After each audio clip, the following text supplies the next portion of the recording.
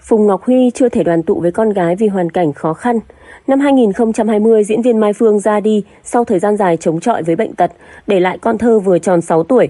Khi ấy bạn trai cũ của cô cũng là cha đẻ bé La Vi, ca sĩ Phùng Ngọc Huy đang định cư tại Mỹ. Anh từng hứa sẽ chăm sóc con gái và đón bé qua Mỹ đoàn tụ, nhưng cho đến nay lời hứa ấy vẫn chưa thể thực hiện được. Nhiều khán giả liên tục vào trang cá nhân chất vấn nam ca sĩ về vấn đề này. Tuy nhiên, sau khi biết lý do, đa phần công chúng đều cảm thông cho anh và thương hai cha con phải chia lìa quá lâu.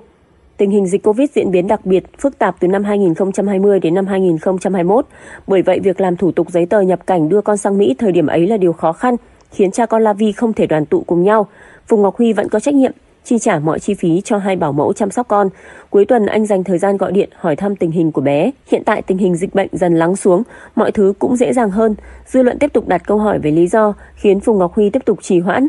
Nhưng khi biết hoàn cảnh của anh ở Mỹ, đa số đều nghẹn lòng thương cảm. Nam ca sĩ làm đủ mọi nghề để mưu sinh. Anh bán hàng livestream trên mạng xã hội để kiếm thêm thu nhập. Anh vẫn nhận book sâu đều đặn bên Mỹ để lo lắng đủ đầy cho con. Anh phải làm cùng lúc nhiều việc. Anh sống khá chật vật ở Mỹ với điều kiện kinh tế khó khăn. Mục tiêu hàng đầu của bố La Vi là tập trung kiếm tiền, dành dụm lo cho con và có thể đón bé sang Mỹ với cha. Trả lời phỏng vấn một chương trình, anh cho biết, tôi hy vọng sẽ về được Việt Nam, rồi hai cho con cùng qua Mỹ. Tôi thích chở bé đi học, dù vất vả cũng vẫn muốn.